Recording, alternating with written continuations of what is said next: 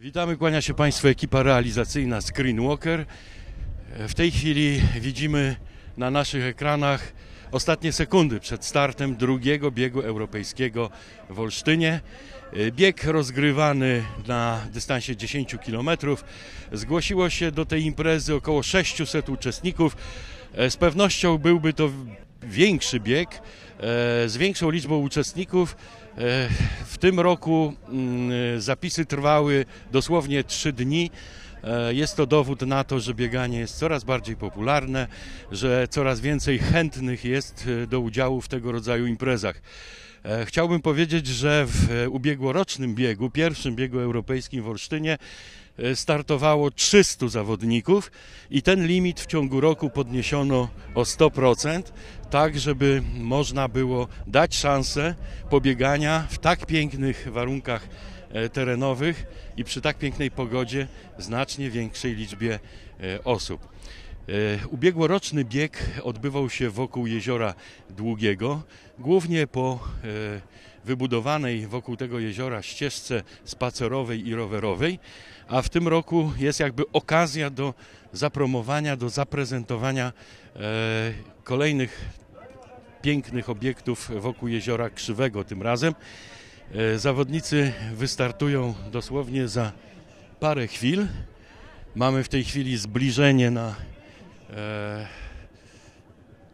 ten moment startu. Ja Państwu przez chwilkę opowiem o tym, e, jak będziemy, o właśnie zawodnicy ruszyli. Kamera, która pokazuje w tej chwili naszych zawodników biegnących na czele, to jest kamera umieszczona na kładzie. Nasz operator dzielnie tam będzie musiał walczyć nie tylko o to, żeby pokazywać jak najlepiej przebieg walki na trasie, ale też tak trochę śmiejemy się o własne życie, żeby z tego kłada w którymś nam momencie nie wypadł.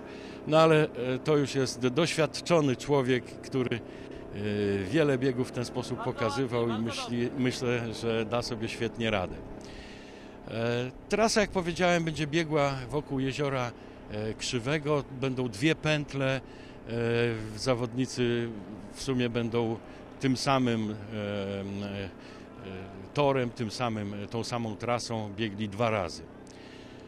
Mam nadzieję, że większość tego, co będzie działo się na trasie, będziemy mogli właśnie Państwu pokazywać na żywo. E, z kamer mobilnych, które, które są e, tak usytuowane, żeby e, ten przebieg biegu dla kibiców i tu zgromadzonych na plaży miejskiej w Olsztynie i tych, którzy postanowili to oglądać w internecie, żeby, żeby było widać jak najwięcej. W tej chwili już dobiega 12 minuta, rozpoczęła się 13 minuta e, tego biegu, więc e, można przypuszczać, że no tak mniej więcej jedną czwartą trasy mają zawodnicy pokonaną.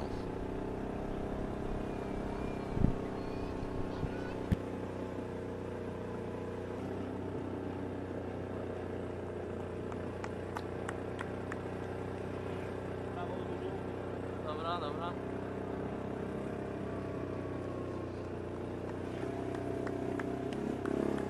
Widzimy teraz e, mapę tego wyścigu. Czerwoną linią jest narysowana trasa, po której biegną zawodnicy i zawodnicy właśnie rozpoczęli e, teraz e, drugą pętlę.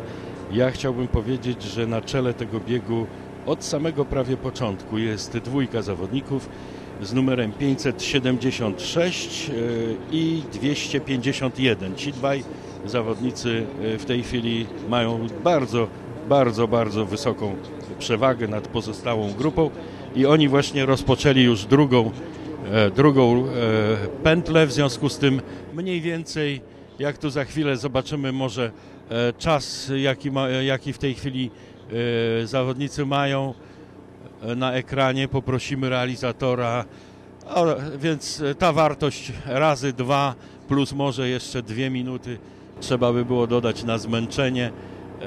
E, zawodników, że to tempo biegu spadnie może e, na tych kolejnych 5 kilometrach, więc mniej więcej za e, kilkanaście, 18 minut, 20 powinniśmy mieć zawodników już na mecie, a meta zlokalizowana jest przy samym jeziorze Krzywym na plaży miejskiej w Olsztynie.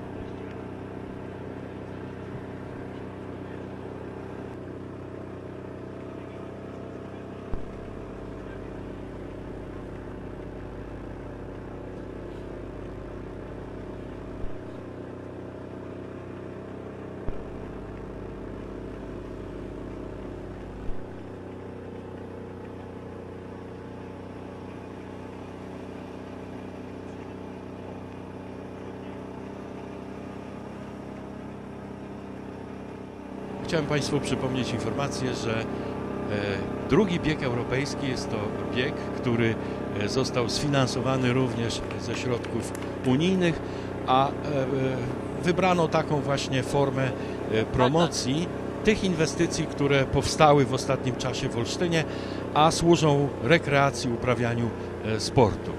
Wydaje się, że no, taka forma jest znacznie bardziej doskonała i, i, i e, e, do przyjęcia w odniesieniu do chociażby zwykłej reklamy, pokazywanie powiedzmy tylko i wyłącznie e, takich gotowych obiektów nie jest na tyle, myślę, efektywną formą promocji, co organizacja konkretnej imprezy i właśnie pokazanie przy tej okazji, kiedy wiemy, że z tych inwestycji ludzie już korzystają, potrafią korzystać i że to się rozwija, bo e, w ubiegłym roku około 300 osób, przypomnę, startowało w tym roku 600 i to pewnie tylko dlatego, że był limit, bo gdyby e, można było przyjmować zawodników bez ograniczeń, myślę, że ten bieg e, tegoroczny liczyłby pewnie około 1000 zawodników.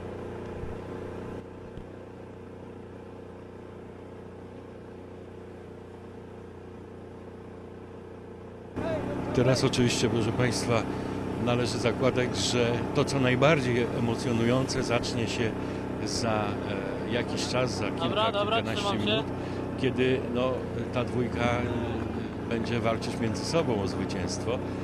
Na razie współpracują, mamy, biegną mamy. obok siebie, ale myślę, że dobra. na kilkaset metrów przed metą będzie taka próba wytrzymałości, który z nich będzie miał jeszcze więcej siły, żeby w tym drugim europejskim biegu w Olsztynie wygrać zdecydowanie. Proszę Państwa, i już właśnie mamy na mecie zawodnika. Nie było jakiejś wielkiej walki między nimi.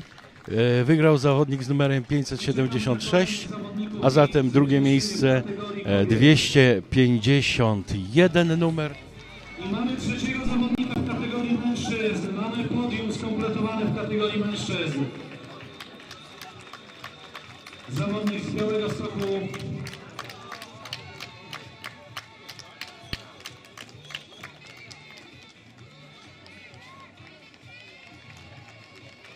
Kolejni mężczyźni biegną do mety miejsce czwarte i piąte i szóstej czekamy na pierwszą panią.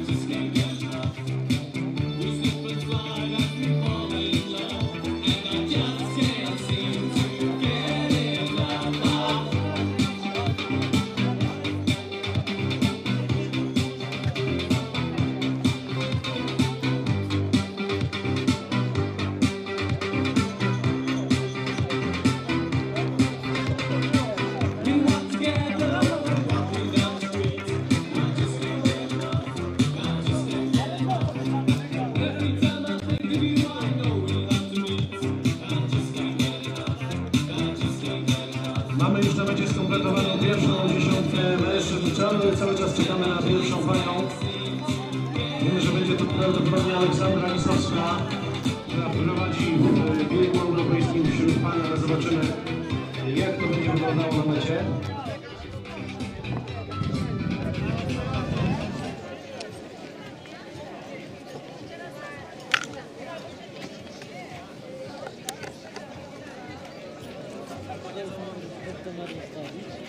不安になって、DJ に備えて。